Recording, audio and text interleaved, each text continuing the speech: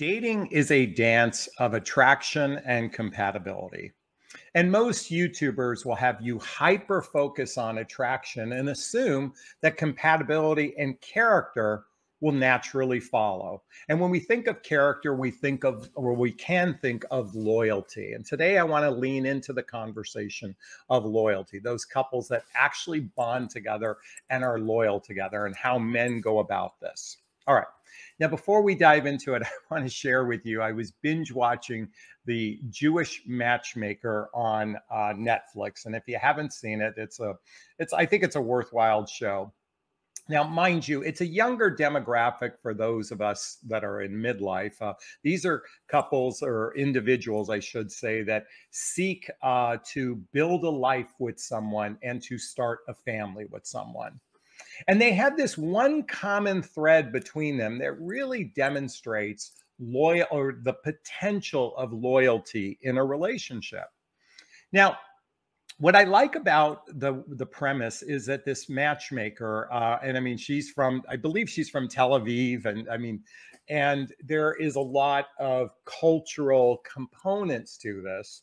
In fact, one of the cultural components is the emphasis on family and how the family is involved in the mating process, or excuse me, the courtship process, I should say.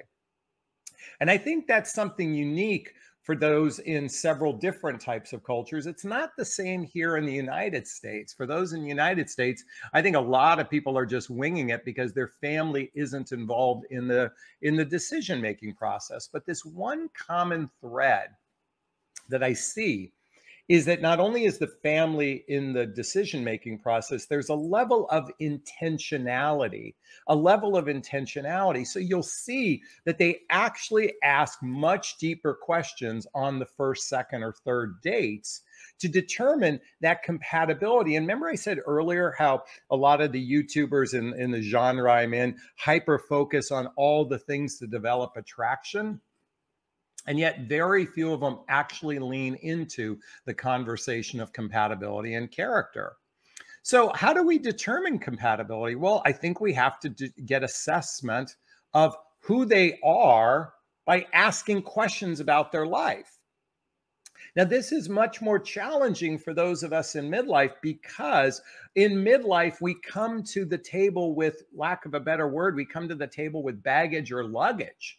In fact, many people at midlife have had have gone through a significant breakup, a significant divorce, and with that comes emotional traumas that makes it difficult for many people to lean into a healthy, happy relationship. In fact, if you're familiar with love attachment style, you might be aware of something called the avoidant love attachment style, fearful avoidant, disorganized, uh, anxious, disorganized avoidant. If you're not familiar with the book uh, Attached by Amir Levine and Rachel Heller, hold on a second. I'll grab it for you right here. And by the way, all the books I recommend, there's a link below. To under, understand attachment style and think about loyalty is about being attached to someone. So when we get an understanding how humans attach to one another, we get a better sense of how they can be loyal to one another how we attach. You know we again we hyper focus on attraction. We hyper focus on love and love will just naturally solve all our problems. If we love each other we'll naturally solve our problems. Yet sadly many people say the words i love you without the real meaning behind it. And i'm going to talk about that again in a few moments. So, what does it take for a man to actually demonstrate his loyalty? What does it take to show someone that he's loyal to you? Well, I think first and foremost, we have to establish building trust with one another is an essential piece of loyalty in a relationship, building trust. You know, it's fascinating to me today and and and i'm guilty of what i'm about to say is but we hyper focus on the physical aspect of the relationship instead of the emotional aspect of the relationship which is including building trust and trust isn't just about fidelity i want you to think about trust for a moment trust is can i count on this person to care about my feelings? Can I count on them to care about my well being? Do they have my best interest at heart? Think about it. People have sex before any trust is built, or very, let me reframe that very little trust is built. In fact, we have a false sense of trust basically because we today, you know, especially with, okay, let me rewind for a second. The fact of the matter is, most of the time we're meeting total strangers uh, in the dating marketplace. Okay. What's interesting about the Jewish matchmakers is some of these couples actually have affiliations with other people within their family that builds a sense of familiarity, builds a sense of trust. Because when you know somebody that, when you're dating somebody and you know somebody that knows them, you get a sense of their character more so than a total stranger. And just remember this total strangers can tell you whatever they want. It may not be the truth, might be the truth the way they see it, but it might not be the truth. So just remember that. So, building trust requires asking deeper questions in the early stages of dating and also demonstrating a level of commitment to one another. Again, with the hyper focus on attraction and chemistry, oftentimes the necessary components of building trust and commitment isn't prevalent. And more importantly, the building of emotional connection through emotional maturity. And emotional maturity is the capacity to be vulnerable, to be authentic, to be transparent with someone. This is why in my private coaching, I have a section called Dating in the 21st Century, which includes a, an exercise called Radical Honesty, pre qualifying your prospect. This is where you start by being transparent if it's material to, to people. You lay your cards on the table early on, and then you establish the rules of engagement. And what I mean to say is you establish your standards of what you're looking for in a relationship. But Jonathon, I'm always told to go on a first date and just have a lively conversation, have fun. It's just the, you know, just have fun. It's all about having fun on the first date. Folks, I'm here to say with the advent of easy access to people through our devices, we actually my invitation for everyone. And again, this is what I teach in my private coaching right here.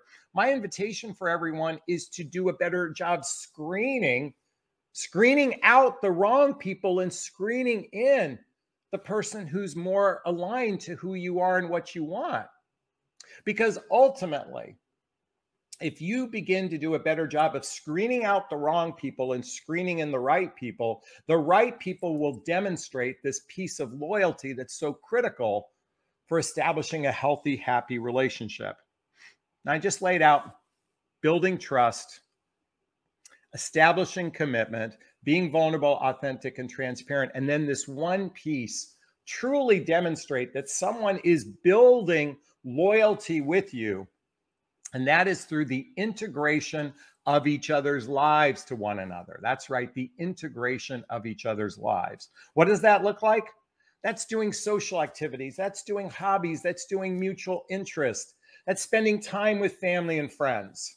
That's traveling together, teamwork building skills, both in your personal and professional life. And of course, intimacy, both physical and emotional intimacy. The integration of each other into your lives will begin to develop the roots of loyalty and attachment. But the reality is, is, and I know many of you are suffering, first and foremost, the hardest thing to find is someone you're attracted to. You're not attracted to 99.9% of the men out there. And men, men are men's standards for attraction is lower, but their sta- their standard, yeah, men will just sleep. Men's standard to whom they sleep with is much lower than who they'll commit to. This is why taking time, like in the in the J- Jewish matchmaker, there's a I don't know the Yiddish term, but there's a Yiddish term where you can't touch one another until you're under the huppah which means you're getting married. But here today, we can kiss on the first date. We can have sex on the third date. There can be a lot of physical components to the relationship with this, without establishing the deep roots of loyalty, the deep roots of trust through your actions. So I said earlier, I talked about I love you. When a man is loyal to you and he says the words, I love you, this is what it's going to mean behind the words I'm here. You matter. We are important. I've got your back. I'm not going anywhere. And I only want you. I'm here means I'm present. I'm not thinking about a past relationship. I'm not in love with my ex. I'm not overtly flirting with an ex. I'm here. I'm present to you. You matter. That means I make time for you. You are someone that matters in my life. I'm making time for you. In addition, we are important. We are important. What that means is our relationship is a separate entity and it requires a nurturing within this separate entity. And I recognize the importance. I've got your back. That means I care about your best interest. I care about your best interest. I'm not going anywhere. I'm fully committed to this relationship and I only want you really means I only want to have physical intimacy with you. I'm not swiping on Instagram. I'm not addicted to pornography. I only want you to satisfy my loins, if you will. I love you. I'm here. You matter. We're important. I've got your back. I'm not going anywhere and I only want you. When a man can demonstrate those actions, through that intentionality, through that vulnerability, that authenticity, transparency, through that establishing commitment and declaring commitment to one another. And through this building of trust, that will give you a sense of loyalty from this person you know, sadly, our dating marketplace is a lot of people who are doing what I just call shoe shopping. They're they're just going out shoe shopping. They try some shoes on for size. They actually walk around in the shoes. They walk out in the parking lot with the shoes. They they go to parties with the shoes, and then they bring the shoes back and go, "Here, I want to return them." That's how people are dating today. See, with the Jewish matchmaker, there's this sense of intentionality. We are meeting with the intent of exploring a possible relationship together instead of shoe shopping. So, how do we do this? We ask better questions before we ever meet someone. See, ideally, it'd be great if you had a matchmaker doing some of that pre qualifying for you ahead of time, but you have to be your own matchmaker. You have to ask those questions ahead. Otherwise, you can go on date after date after date after date, and you can, you know, um, roll the dice. But when you're dealing in a midlife category of a lot of emotionally fucked up people, emotionally damaged people, emotionally wounded people, the reality is is probably 80% of the population who are single over 45 years old are not even capable of, of a relationship with you. They're capable of occasional companionship, they're ca- occasional connection, occasional sex, but not all of the things I just outlined that builds loyalty. So this is a screening process of you is screening out the wrong people and screening in the right people. Is this sinking in? Is this resonating? Please let me know. So I want to end on one note before I take questions. Uh, Marie and I were having a conversation yesterday, and she doesn't agree with my dating vows. Okay. My dating vows is basically, I'll, I'll just recite it for everyone. This is a conversation two people have before they explore the physical aspect of a relationship, before they get too overtly attached on the physical level. And the question that what you say, there's a saying, have you ever heard the saying, women are the gatekeepers of sex and men are the gatekeepers of commitment? The dating vow is before you're physically intimate with someone.